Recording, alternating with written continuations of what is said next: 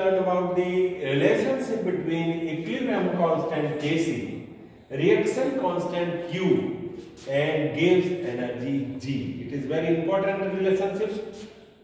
The value of Kc, equilibrium constant, does not depend upon the rate of the reaction, but it also depends upon the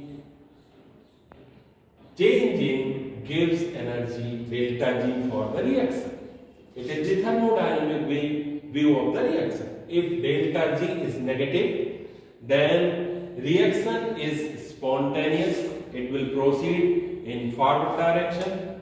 If delta G is positive, then reaction is non-spontaneous and oppositely delta G is negative for the backward reaction so the product will convert into reactant. So backward reaction will proceed very easy.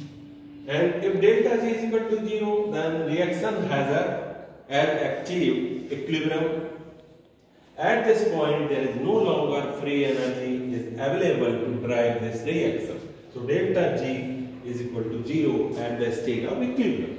A mathematical expression for this thermodynamic view for equilibrium is as follows delta G is equal to delta Z 0 plus RT ln Q. This is equation 1 where delta G 0 is the standard free energy chain. Standard free energy chain. At equilibrium we know delta G is equal to 0.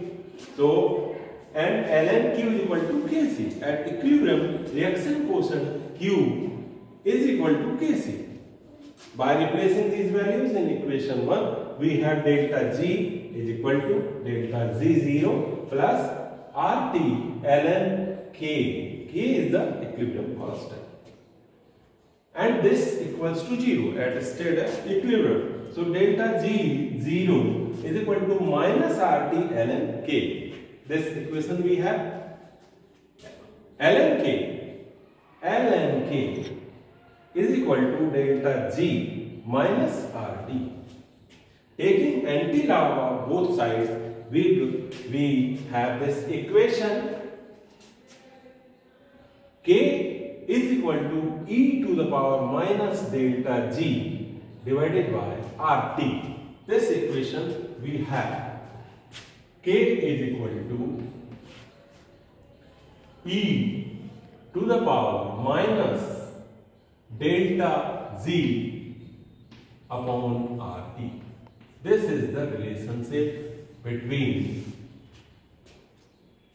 the uh, equilibrium constant K, delta G and reaction constant K.